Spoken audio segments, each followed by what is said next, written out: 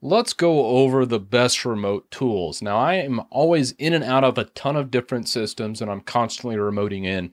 And for this video, I wanted to touch on a Windows tool called mRemoteNG, but for you Linux users, I will give an alternative as well. So with all that said, let's get into it.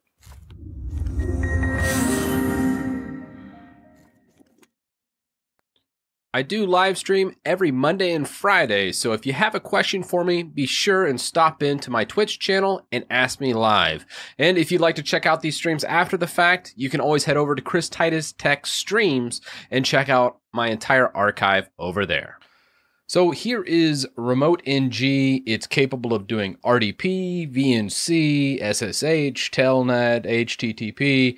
You pretty much name it, it can pretty much do it. So a great tool to have as I mainly use RDP to connect to Windows clients and then also VNC to connect to different VNC options I have available, whether it's a virtualized system or not.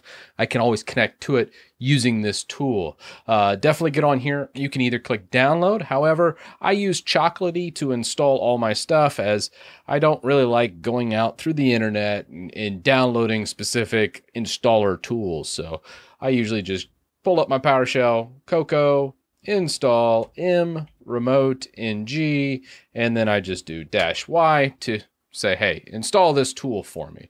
So this goes out, downloads it, installs it. If you really want to know more about Chocolatey, by all means, I've made a video. I'll link it up here, but we'll go ahead and let this download and install.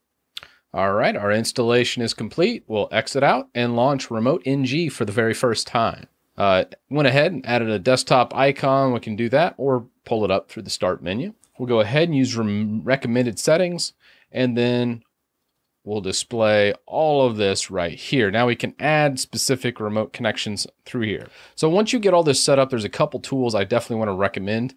One, you can actually export everything to file once you're finished. And you can also set up different folders. So I'm going to set up a folder called home and then I will also set up a folder called work, as sometimes I'm connecting to a different network at work and I want to make sure I separate those two out. So for the home connection, I want to add something to it. Let's just go ahead and say new connection. And we're going to just say main SSH PC.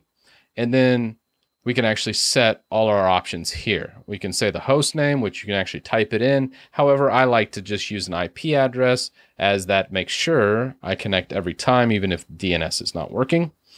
And we'll go ahead, type in my username and password. And the protocol we're going to utilize on this one is going to be SSH. So with these settings in place, we should be able to connect to our main PC. And I actually said version one, not version two. All right, and we'll accept our configuration and we're logged in. All right, from here, we can also do some other cool stuff, such as a file transfer. Um, honestly, I would probably stick to the command line, but if you're not familiar with command line that much, you can actually do transfers right here, just going to Tools, SSH File Transfer, typing your host in, and then username, password, and then let's go ahead and transfer just a sample file here. We'll go ahead and do README and uh, make sure you put your full path. Uh, don't try to use like a tilde to go ahead and uh, send it to like the home directory. You need to actually specify the full path name. So we'll do home dash Titus to get in our home directory, and then we'll call this readme dash test.txt, and we'll click transfer.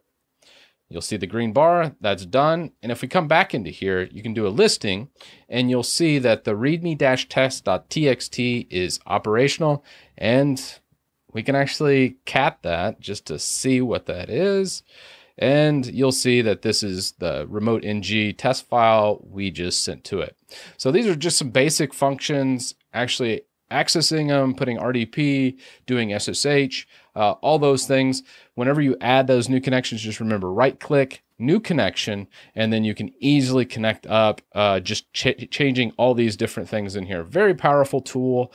I like it uh, as you can do a lot of different redirects too with the RDP. So on Linux, we use Remmina, uh, which is a little bit different. Uh, it's not quite as powerful as Remote NG, but I honestly think it's a little cleaner. So it just depends on what you like to use. For Windows PCs, though, obviously remote ng is a great tool as you're able to get into a ton of different systems and uh, you don't have to constantly be pulling up like remote desktop connection manager. Uh, there used to be another one that's a little bit out of date now. I don't even know if it works with the latest protocol of rdp but uh, i think it was remote desktop manager is what i was using but uh, with remote ng it's a far better tool for rdp especially where uh, you know traditional RDP connections through uh, MSTSC is just not great. So uh, I'm going to go ahead and close out of Remote NG, and we'll go ahead and say yes to close all connections, and we're out. All right, now the second option for Linux people is called Remmina. It's an amazing, amazing tool. Uh, if you go to Remmina from the start menu, you can launch into it. So if you actually here, you type Remmina, you can launch into it. I actually don't need to launch it. I actually have it auto launch so it sits in my tray at all times. So I can actually just left click it and then launch directly into whatever I want, whether it's a VNC or RDP server. I'll go ahead and pull up the main window. You can kind of see some of the things I have going on. Um, I have two networks, obviously. I went ahead and connected my work PC up. I didn't show the RDP connection on Remote NG mainly because um, I have a lot of security connections and I don't trust the Windows PC, especially here because I do some kind of uh, port forwarding. So, for security purposes, I don't want to expose anywhere I would actually do it. So, I actually connect through uh, VPN and then I actually am on my work network and then I can actually do a proper RDP. So, I'll go ahead and RDP and just kind of show you what that looks like. So, I'll just go work and we'll just pull up uh, one of the the VPN or one of the domain controllers that's just a virtual machine. And I'll just close out of this.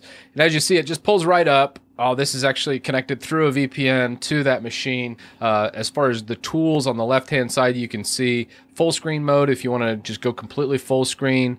Uh, you can do toggle dynamic uh, update, which this actually isn't enabled right now, but it'll automatically try and change the Windows PC to be a certain resolution.